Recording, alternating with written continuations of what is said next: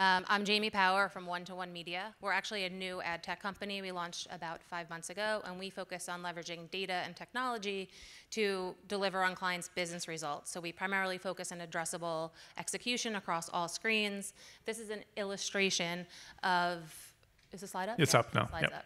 This is an illustration of how we um, do this with the movie studios. So we're focusing on beyond the theatrical window, how can we drive transactions in the rental um, period? And we do that by first understanding who is most likely to rent, then the providers that are most likely to drive the most revenue, and then sending the message at the right time to the right consumer and ultimately getting them to pull out their remote control, rent a movie.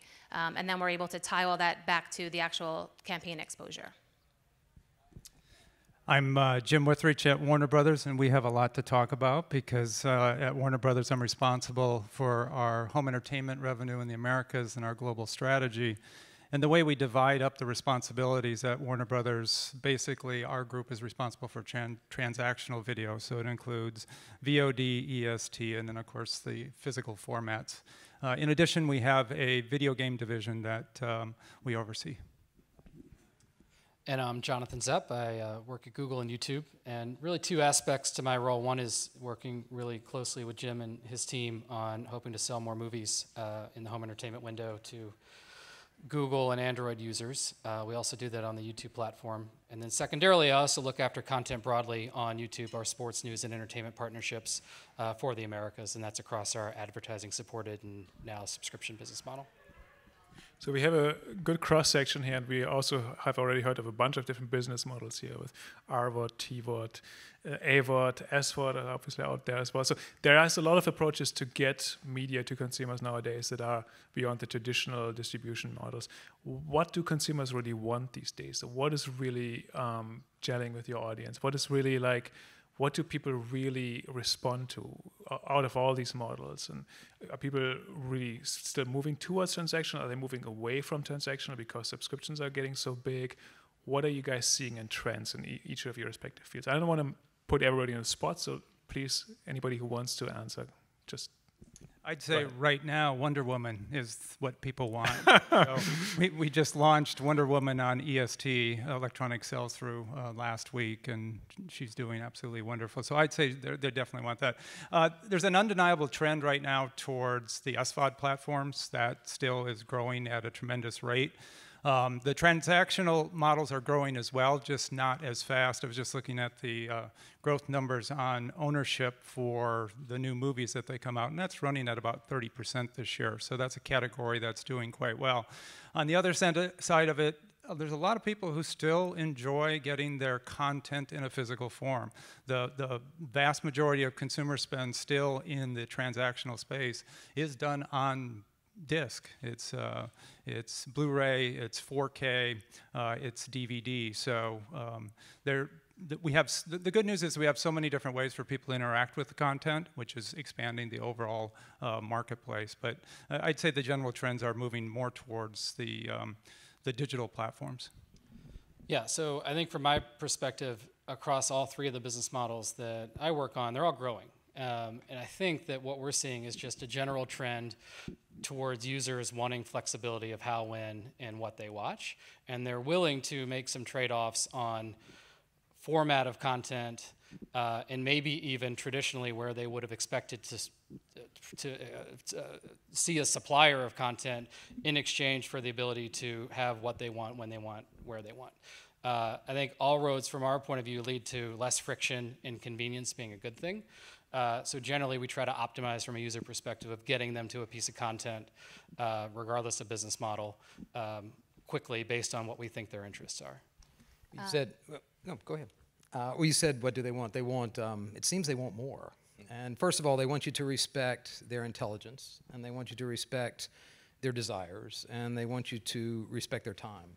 So we're seeing a lot of interesting trends across the Turner portfolio. Uh, for example, look, there's a lot going on in the world, so a lot of people would say, I would expect, uh, you know, mobile use of of CNN to be going up, and yeah, it, it has year over year, second quarter. You'll like this, Kay.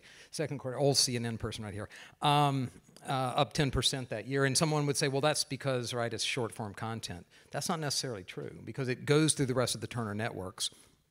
cartoon in July was like 21 million video plays, and the majority of that was on mobile. So we're seeing just a tremendous amount of shift to different platforms, which is fine for us. It's not that the same piece of content needs to go across every platform the same way. It's a question of are you giving them exactly that experience when they want it? And since the mobile device is what we don't do without, right? I mean, I've, I spend more time with that than, than anybody in my family, I, I guess, because it's always with me. Um, and so if you look at it like that, you're going to see mobile continue to grow and grow and grow, whether the mobile's this screen or the, or the tablet screen. Um, one in- interesting thing that we see is, and it's a good thing, is when we look at the rental business for the studios, and then we start to look at EST and the physical copies, um, they're not cannibalizing each other. They're all sort of growing at equal trajectory. So when you look at the rental VOD um, per person. That's a, a woman 25 to 54. When you look at an EST, it's 18 to 49. And then the package is, is a different type of person. So I think it's nice that finally in television on the small screen, we have all of this data to know what's working, what's resonating, and then can tie everything back to transaction. Because if we were up here two years ago, we'd have be like, okay, we're spending on TV and, and transactions are up, sales are up, but now if something works, we know exactly what worked and we're able to adapt the advertising for the next campaign to optimize. And, I think you know frictionless, as we, we already said, is key. And I think I think AVOD has an opportunity to be a, a, bit of a dark horse here, right? We keep putting the old world of ads into that. It's a two-way communication device. There's way more cool things you can do with it. Actually, Turner has their ad labs, which we're part of, and they've put a whole bunch of different um, ways of pushing content that isn't completely obtrusive to the content that they're they like. It has an impact. It sticks. Um, but they're just not there's not enough of that going on. So I think that could be a dark horse because that's got to be I think the most frictionless way to get content. So if people want more of everything, not just Wonder Woman, but really everything, uh, how do you balance that? If you are at a studio or at a network like BET, how do you balance your assets and how, what do you keep on the network? What do you get out there on, on other platforms, and what do you give people just maybe only digital? Yeah, I think the implications for anybody in the publishing, the content publishing business, whether it's digital or linear or any of those kinds of things, it's it's like a whole new um, wild, wild west, for lack of a better term, when I joined BET, um, the word that I like to use is ubiquity, that we need to be everywhere that we can be. And actually thinking about the, the, the platforms that uh, our audiences spend a lot of time on. Some of them we own and some of them we don't. And figuring out how to actually structure the deal structures, uh, the content arrangements, the deals with talent and digital rights and all of these kinds of things to be able to do it.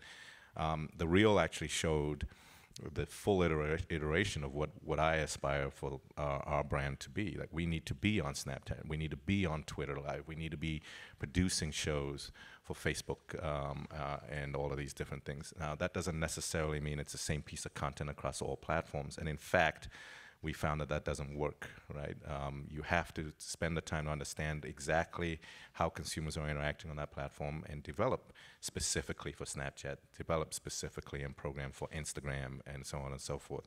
So um, I think it means for us is that when you go into these production deals, broad-based production deals, um, that you're asking tougher, more wide-ranging uh, uh, questions and, and having wider-ranging conversations to be able to deliver against this um, implied uh, user expectation that they're going to be able to experience your show or your piece of content in different iterations on multiple platforms. Is it viable to keep to have all those because you have platforms, then you have plat? Is it viable?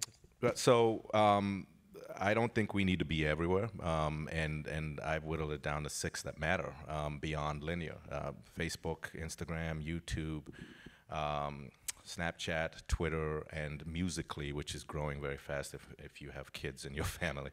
Um, those six alone, um, and having dedicated experts on our teams who understand how to program and how to grow audience and engagement on those platforms, make the benefit, the ROI for us, valuable, particularly if some of those platforms have monetization um, uh, uh, platforms and deal structures that we can avail ourselves at. And that may not be the case for all of them. I'm not going to tell you, do your own research, which, which ones are better than others. Um, but there are some out there that actually work very well with media companies and others that are beginning to have those conversations. Come on, how about Turner? How do you decide which crown jewels you're going to give directly to consumers, which ones keep in the traditional distribution channels? Um, well, if we say direct to consumer, are you talking about what we've done with Boomerang, um, our partnership with Warner Brothers, which is Hanna Barbera and Looney Tunes Library direct to consumer, and Filmstruck direct to consumer? Yeah, for example, I think Yeah, well, um, so those are really interesting ones. So let's uh, let's go to Filmstruck. Turner Classic Movie is really a one revenue stream, right? It's movies from the 20s to the 70s. Um, Network does a very good job of curating a very passionate audience.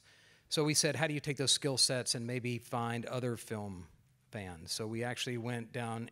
You know, it's the largest library Filmstruck for art house, indies, foreign, and cult. So we took that and said, let's take the sensibilities of what we've done well with Turner Classic Movies and go direct because that's an unserved. What we knew we wouldn't do is say, hey, we're going to launch a cable network called Filmstruck and go and, and have an arm wrestling match with, with MVPDs to see if you could get carriage. So you have to decide what content works well, I think direct to consumer.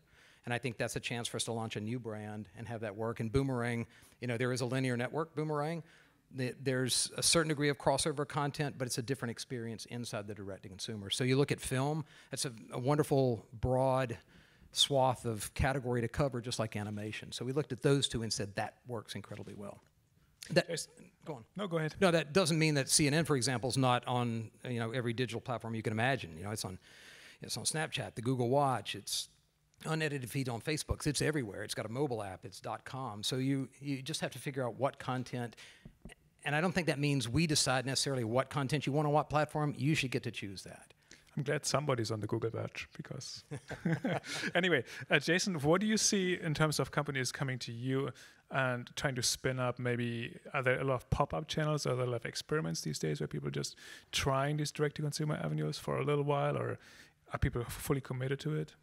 Yeah, I- mean, to me, it's all about experimentation, right? And I think um, getting and one of the tech, the tough things is it's there's a tech stack there, right? So it's not.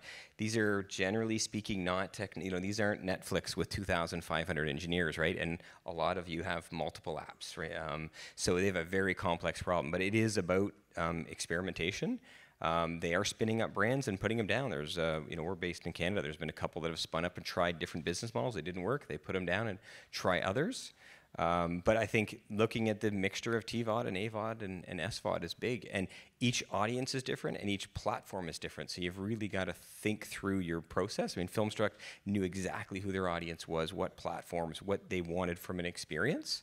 Um, and then you know you've got to play with all kinds of variables like pricing and stats and data and what's available. So uh, it is about experimentation. There's no one fits all for sure. So I think that's um, something that you, you know if you don't take a risk. I think we heard that a lot today. That the ones that take risks will win. If you just do what you did before, it's a formula for not success.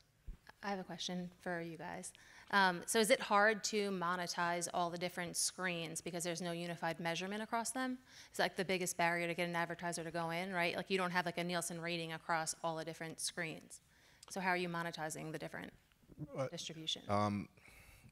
It, it's a challenge, but I'm not I'm not necessarily sure that it is my challenge. Um, um, the, the good news about all of the platforms that I just mentioned, they're big enough and at scale, and they're doing direct business with many of the advertisers and the brands out in the marketplace.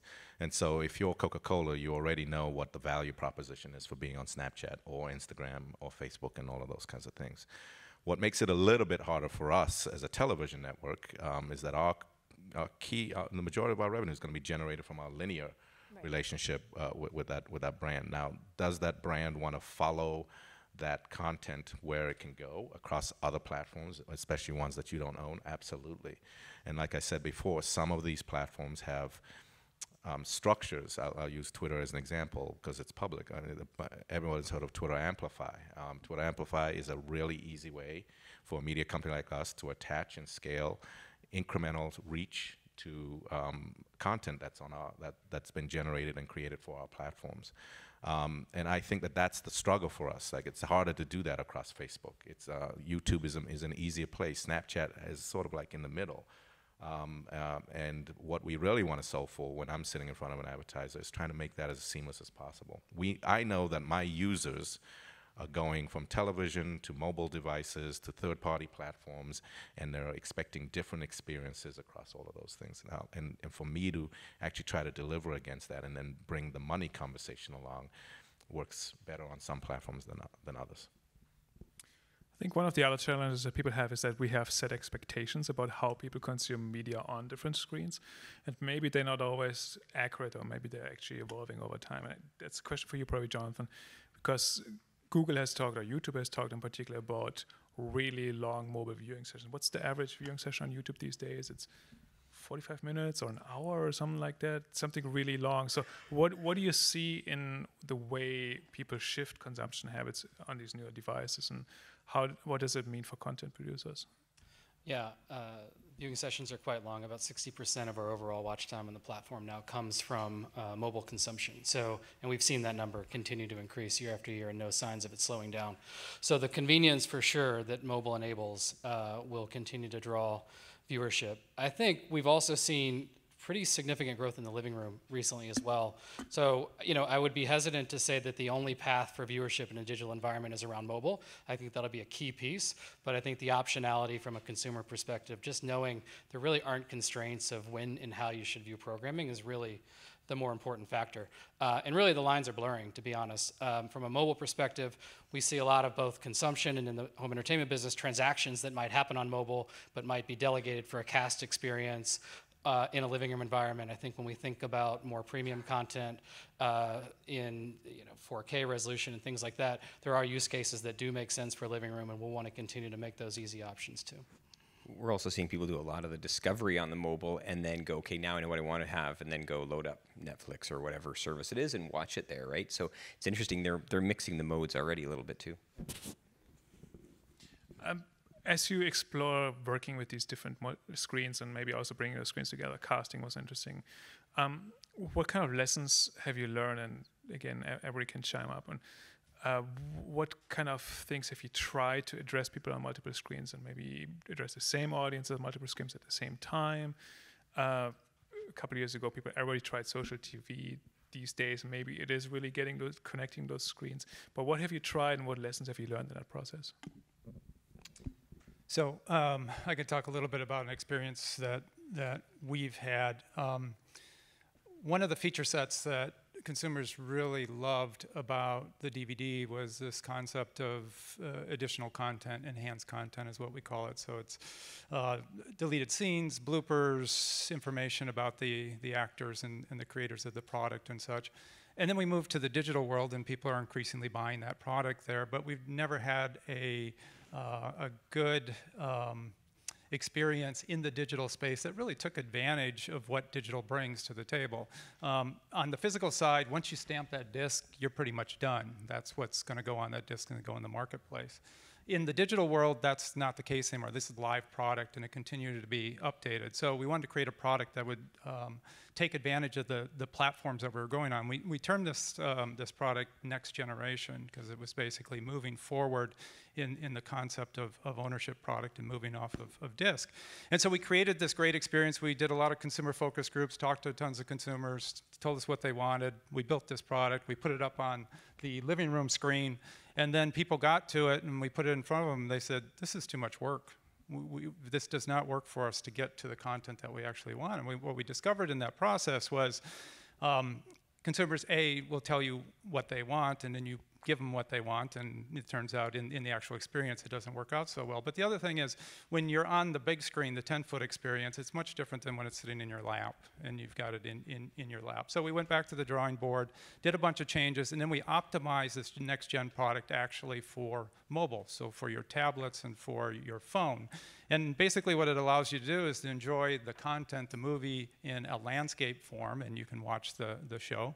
If you want to go deeper into the content, you just flip it up in portrait mode, and then you start getting all this live content. And it might be um, shopping related to the scene that you're actually watching, it might be a, a bio, it might be showing where a particular uh, scene was actually shot. So the product updates on a regular basis, but it gives the control to the consumer. And what we learned through that experience, uh, consumers interact with the content, even though it may be the same content, the base content, differently depending on what the device is.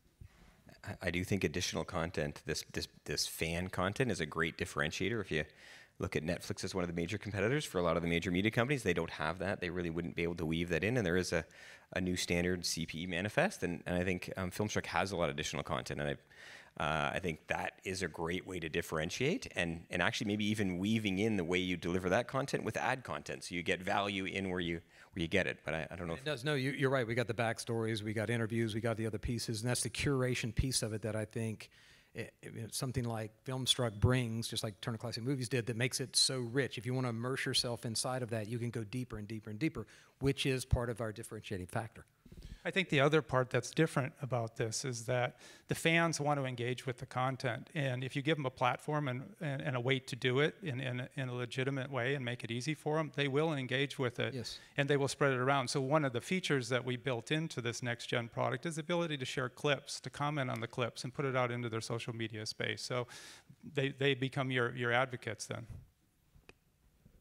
Jason, I think we talked before this panel a little bit, and you you told me that um, you also had discussions with clients that wanted to do too much with some of their products. Yeah, I mean, if I were to give one big lesson learned, it would be, you know, you, you need to take your your um, fans, your audience along with you, right? We've seen cases where they've done too little. They rebooted, built a new foundation, didn't have the features they had before, but they had to wipe it out. But we've certainly seen the other extreme where large organization took a while to get it going. By the time they got it out, it was a 2.0 release, and they had left their fans behind, and they and they didn't like the extreme change. I mean, as humans, we like baby steps. So innovate with your audience would be a big one. We, we've seen, and I won't, won't go into specific examples, but I mean, you, you need to do these steps with them, right? Take uh, take stages, innovate, iterate, um, and and again, that goes back to tech. Pick the right tech partners for that stuff too, right? Because it's not a once off and then leave it for 18, 24 months. This is something you should probably bring in house, own it, and uh, and I think we heard a lot of that today too. The era of just hey, I'm going to outsource this to X company and just do it all. You've got to bring this stuff in house. I think. Did you have any similar uh, lessons or aha moments at BET? Um, I'll, I'll share lots of failure if you like. But you learn from failure. That's what they say. you learn the most. That's where you learn the most.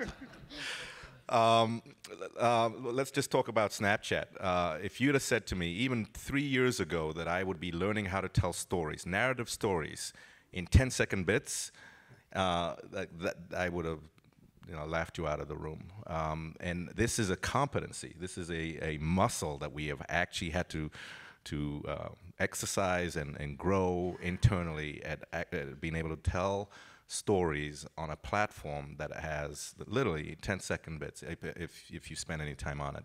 And, and it is actually a compelling experience. If you follow Comedy Central or, or MTV, some of our sister networks, we're, we're doing a Snapchat show uh, right now for uh, that's going to be adjacent to a linear show that we're going to launch um, in October. Um, and the experience is a brand new viewing experience on the Snapchat platform, germane to Snapchat, but actually linked to the linear version. So it's going to be very interesting. Um, my colleague Chris McCarthy, who runs MTV, uh, is reimagining TRL along along. If for those of you who are old enough to remember what it, what it was, like me.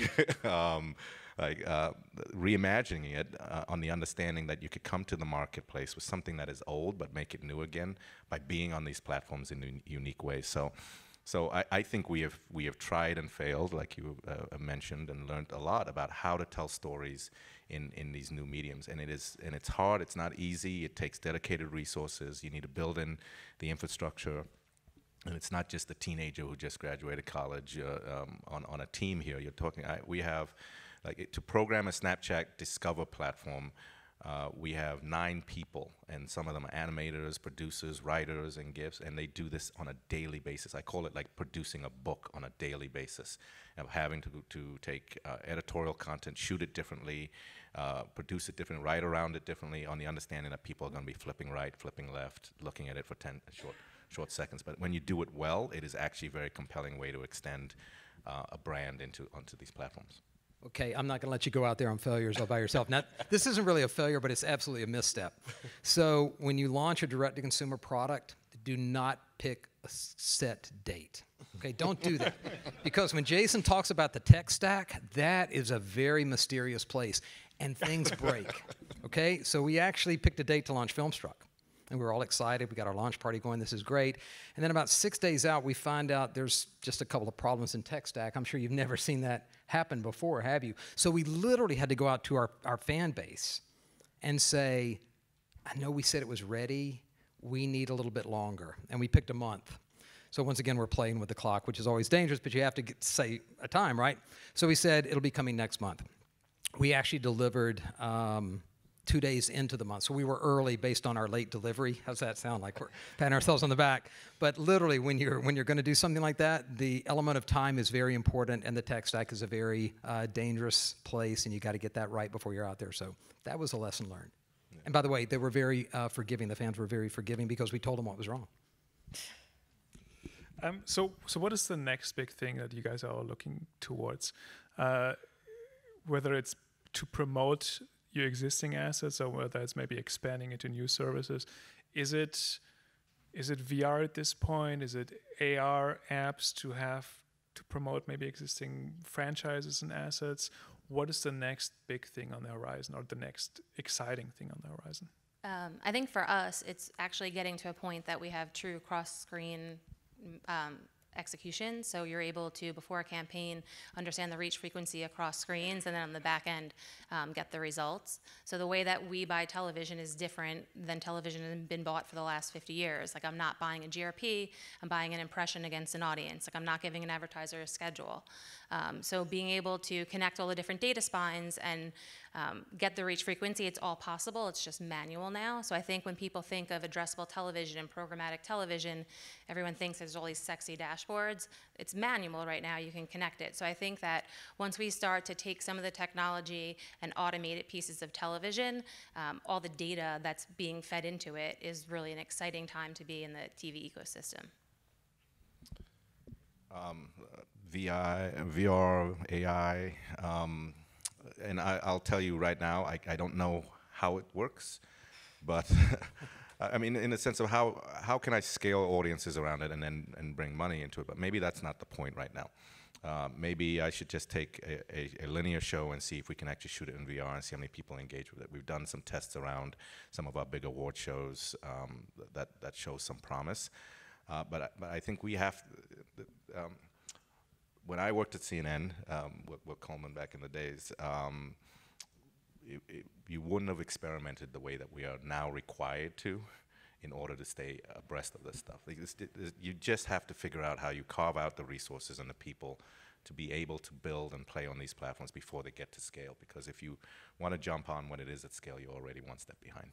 You know, I think it's got to be a big event. You know, CNN just did Eclipse of the Century. I don't know if, if anybody participated. I was actually on the road driving, but um, on the day of the eclipse, you could uh, download the app and you could follow for two hours. CNN would, there were seven different points where it was a total eclipse. So you could have a VR experience. And I think it was like 5.7 million video starts, which makes it a pretty big virtual reality event. So, so you know, you don't think about how do you monetize that at the time. You're just going, this is a really big event, and what do you do around it? And we're doing this with E League now. So if anybody's a gamer in the room, you know, it starts tomorrow. Um, uh, where basically there's uh, for the for the multi-game player, it's our partnership with with IMG. So these 16 teams are going to compete, and now they're going to be sensors and microprocessors to actually for the players, the five individuals who play against the other five, to look at eye movement and vital signs to track their decision making, their reflexes. So you're actually now pulling like the fans into the mind of the players, which is just utterly fascinating. So. I think it's games, I think it's big events, um, and sports where I think this plays out really well. Jim is having a video game uh, studio under you. Does it help to get some of those ideas in and maybe also use them in other areas? Yeah. So there, you know, there's. It's a great time to be in the content business because so many things are changing. Not only the platforms that we can put the content on, but how you create the content and such. So in the video game space, obviously the, the real hot hot area is in, in mobile and how do you make games as a service, and it's taking up more and more people's time. So if you're talking about what people do on their mobile devices, there's a gold rush just around that space and trying to make it happen. Esports is a, is a big area. So how do you make these games that, that everybody's playing on a regular basis into a, a, a wider spectator sport? And that business is, is taking off, and it's tremendously exciting. On the uh, VR side, VR, AR, um, what, what our fans want to do is they want to go deeper into these worlds, and the technology is allowing them to be part of those worlds. You just heard on the, the panel that was just before us talking about VR and AR and those experiences. And if you had a chance to, to do some of these experiences, the void and some of these other things, it's absolutely incredible. So what we're concentrating at Warner Brothers is trying to play in all these spaces. To your point, you have to be in all these spaces. You can't just wait until a market develops. So 4K is another one of those markets that is tremendously exciting to us because it's 4K with high dynamic range. And for the first time, consumers can have actually a better picture in their home than what you would do when you go into a theater, just based on the, the color depth and breadth that you can get. So the technology is providing things that we were never able to do uh, in the content space. So a lot going on. Yeah, I think these guys are right. The combination of machine learning and VR AR is going to revolutionize every aspect of entertainment. I think we will probably all have a different point of view on what that timeline is. So I think that in the near term, there's actually some really interesting problems that need to be solved around fragmentation. So today, as a user, uh, I spend a lot of time on Google Play, I spend a lot of time on YouTube, I spend a lot of time on Hulu and Netflix and several other apps that it's kind of a pain to like jump back and forth. So I think platforms like Google have a role in helping make that process a little more efficient as the world of content investment continues to be fragmented around uh, some really um, you know cool content in different places. All right, so I got this sign. We're almost out of time. Let's do one last quick lightning round where everybody can tell me a little bit about what's next for you or your company, rather. Um, what's next for Filmstruck, for example, or or one of your other Turner franchises. Wow, what's next? Um, I think we'll look at making the Filmstruck um, to the point of how do you make it different. I think we'll go deeper in curation, deeper in the overall consumer experience to make it better. It's only been around 10 months, so we'll continue to just expand that experience and listen very closely because we got great feedback because we actually get data now. You know, going traditional means you don't always know what your customers are saying and thinking, but now we actually do. So we'll continue to uh, just enhance that overall experience. And the same thing with Boomerang. Boomerang, you'll see more games come into play as well. Uh, I would say new ways to monetize content, um, just adding a lot of creativity to that. And I know our clients would like to see universal search uh, solved, some way of making it easier to discovery. I would even say. Um, I'll get old-fashioned on you, and uh, I'm uniquely interested in taking uh, digital and social experiences and taking them offline and actually bringing them to life at events. We did we do a big event called the BETX uh, BET Experience here at LA Live 165,000 people, um, and that's just the beginning. I'd, I'd, love to see that scale around the country and actually take the interactions and the touches with our brands and bring them to life with people. Um, we'll continue to build out our platform to leverage data um, to change the way that we market and really market um, based on performance. And instead of just running a campaign for reach, we'll know if a campaign worked or if it didn't work and then be able to optimize for the future.